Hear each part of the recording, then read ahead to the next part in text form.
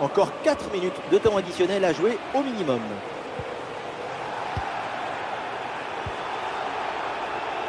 Ah, l'équipe peut jouer le contre. Ah, la défense peine à se replier là sur le contre. Et c'est le but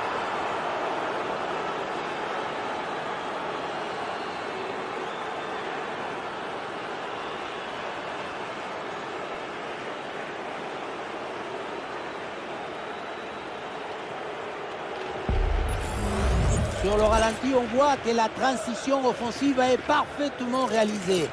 Dès la récupération jusqu'à la finition, quelle fluidité, quelle rapidité d'exécution. La finition à mi-distance avec cette frappe parfaitement en équilibre qui absorbe toute l'énergie.